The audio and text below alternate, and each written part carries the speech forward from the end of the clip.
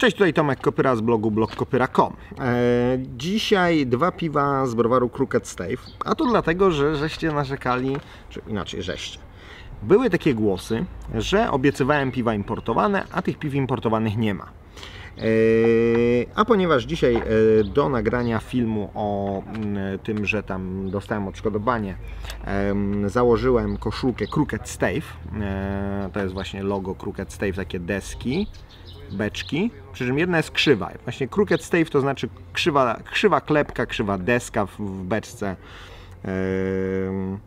To nie wiem jak to można. Jest, jest chyba jakieś specyficzne polskie słowo na taką wykrzywioną deskę czy coś takiego, no ale krzywa deska, krzyw, krzywa klepka. I to są piwa, które przywiozłem z y, Denver na jesieni zeszłego roku, a więc swoje już jakby od, od y. Można powiedzieć, że można powiedzieć, że jest to w pewnym sensie oblewanie e, tegoż, tegoż tam e, mm, odszkodowania. E, Więc mam dwie, dwie, dwa brety z owocami. Pierwszy to jest Suret Rezerwa Prunus Persica. To jest Golden Sour Ale aged in oak barrels with peaches, czyli Golden Ale leżakowane w beczce i do, z dodatkiem e, brzoskwiń.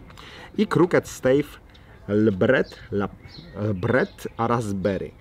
Nie, Lbret de Raspberry. E, To jest po francusku jakoś ta, mm, to L i to D, ale powiem szczerze, nawet nie wiem jak tutaj powinienem je przeczytać. I to jest e, z kolei Golden Sour Ale, ale leżakowany w, w beczkach z malinami. Ten ma e, 6%, ten ma 7%, ten jest em, butelkowany we wrześniu 2015, ten w e, grudniu 2015. No więc zacznijmy od co prawda mocniejszego, ale wydaje mi się, że brzoskwinie są jednak mniej mniej agresywne niż maliny, więc myślę, że tutaj będą lepiej pasowały. E, co do opakowania, no okej, bardziej mi się podoba to Suret Reserva, rezerwa. Tutaj mamy taką jakby typową farmę e, amerykańską z takim wiatrakiem, który wytwarza prąd. Em, Browar się w zas- w zasadzie nazywa Crooked Stave Artisan Beer Project, czyli taki projekt y, piw rzemieślniczych. Oni się specjalizują nie tylko, bo robią też normalne ipy i tak dalej. Tu jest właśnie ten, em, to, to tak jakby wiek od deski z tą krzywą klepką. Oni się specjalizują w y, kwasach, w bretach. No, dzieje się. Brzoskwinie, mocno brzoskwinie. Brzoskwinie podobno są takie, że nie, nie, nie, nie, nie oddają dużo do piwa, ale tutaj czuć mocno brzoskwinie, co mogą podbijać też może drożdże belgijskie. Taki słodki, słodki taki ym, słodki taki słodki z, ym, ym, nieduszący, niezawiesisty, tylko taki ciężki, o, ciężki aromat, ciężki, słodki aromat. Troszkę wanilii z beczki.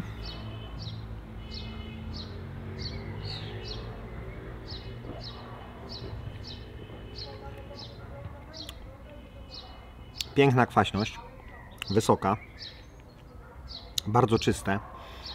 Ja miałem okazję troszkę z Chadem Jakobsenem, założycielem em, Crooked Stave e, porozmawiać. Więc on ma, on w ogóle jest dyplomowanym e, piwowarem. Pracę e, chyba magisterską pisał z dzikich piw na Uniwersytecie w Edynburgu. Mm, pięknie. Czuć taniny z, z tej beczki. Czuć taką winną wytrawę. Nie wiem co to za, była za beczka, bo niestety to nie jest podane. Ale obstawiam, że jakaś po winie. Fajna kwaśność, ale nie jest to, nie jest to kwas nie, taki z akumulatora, tylko spokojnie. No, jest, jest, jest fest kwaśne, ale bardzo czysto. E, więc on e, wychodzi z założenia, że to musi być wszystko pod kontrolą. Oni wszystkie beczki e, sterylizują przed użyciem, nie pozwalają sobie na ten i zaszczepiają tym, co, czym chcą zaszczepić. Co z jednej strony jest bardziej przewidywalne, z drugiej strony moim zdaniem taka wysterylizowana beczka no już to nie jest to samo, co taka dzika. Tylko, że mówię, prawdopodobieństwo tego, że się spieprzy jest oczywiście, jak mnie mam, mniejsze.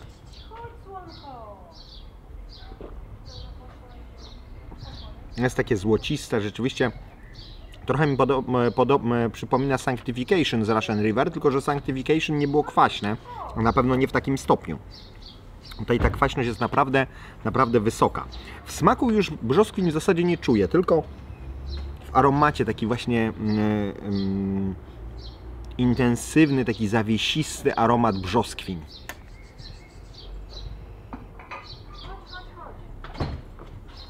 Bardzo fajne piwo. Mm, Fajnie też pojawia się ta beczka. Myślę, że to była jakaś beczka po białym winie. Mm, Bo są takie nuty właśnie waniliowe, troszkę takie, troszkę takie winne. Bardzo fajne. E, No i spróbujmy Breaded Raspberry, e, czyli Golden Sour Ale z beczki i z malinami. Kapsel taki sam. To są butelki yy, chyba 375, tak? Tak, 375 ml. 12,7 płynnych uncji. O, maliny, mega maliny. Bardzo intensywne maliny.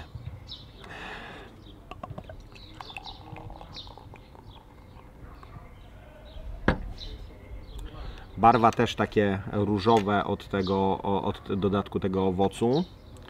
Właściwie można powiedzieć czerwone. Czerwone, nie różowe. Różowa jest piana. Malinowe. Z taką nutą yy, takiego, takiej nafty. Takiej e, trochę innej niż chmiele dają, chociaż trochę podobnej, ale takiej nuty, którą e, na przykład e, mocno znajdowałem w lambikach z Buna. Może troszkę też taki koński mocz, ale nie jest bardzo końskie. Znaczy oba, mimo że to są bretowe piwa, nie są bardzo mocno dzikie, takie funky, takie stajnia, obora, brudny koń, czysty koń, ale tutaj taki jakiś koński mocz to bym powiedział, że, że czuję. Albo może to ta nafta.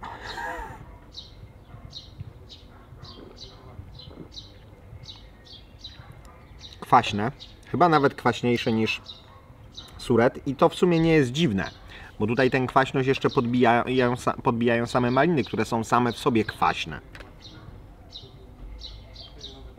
Niestety browar nie prowadzi strony internetowej, także generalnie sobie nie można wyczytać po jakim winie była beczka, po jakim... Pierdzielą to. Nie mają na to czasu. Cóż.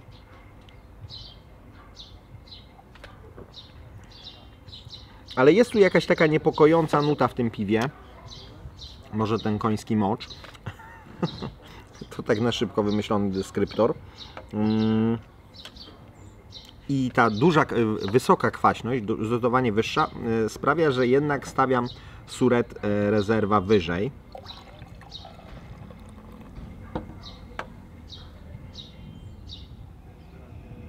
Hmm, teraz wyszło więcej, jeszcze więcej wanilii takiej słodkiej, brzoskwiniowe, brzoskwiniowo-waniliowe, słodkie nuty. Takie trochę mi się kojarzące z jakimiś lodami śmietankowymi. Lody śmietankowe z brzoskwiniami. No, coś takiego. Bardzo taki śmietankowy aromat wyszedł.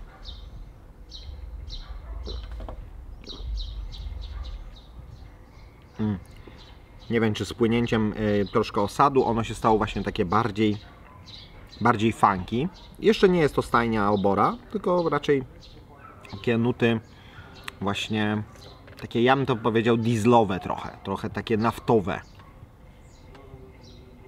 Ale ewidentnie taka nuta śmietankowych lodów. Nie wiem, czy to dobrze, czy to źle. E, Czy to lakto tutaj zadziałało, czy, czy nie mam pojęcia.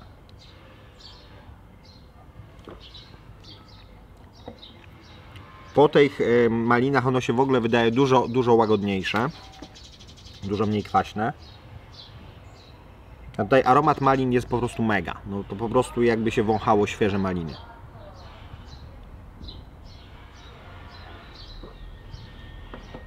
Natomiast w smaku troszkę brakuje głębi.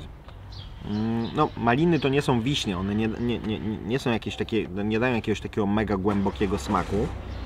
Mm, To był Golden, A- Golden Sour Ale, czyli też nie jakieś e, wielkie piwo.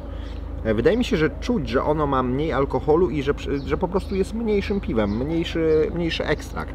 Bardziej takim troszkę wodnistym.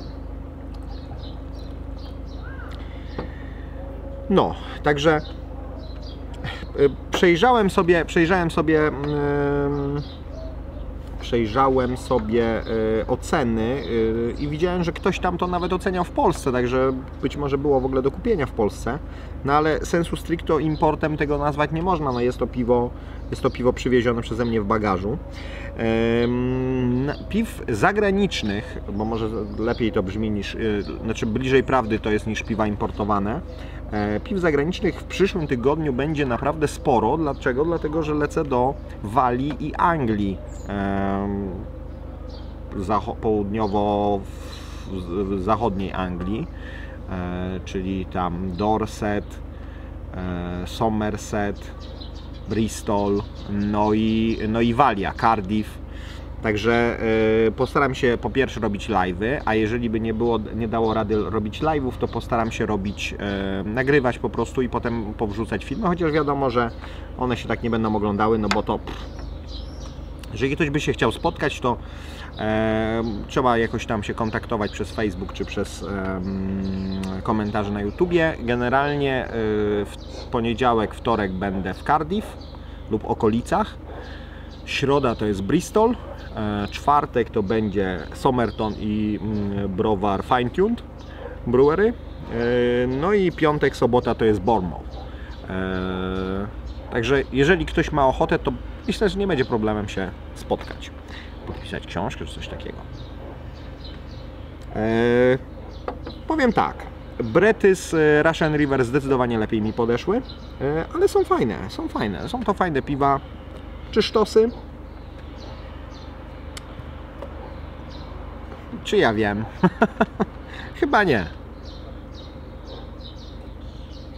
Natomiast na pewno są ciekawe. Są ciekawe, są ciekawie zrobione. A Ten aromat jest ciekawy, tego na początku nie było. Teraz no mega po prostu śmietankowe lody. Mm.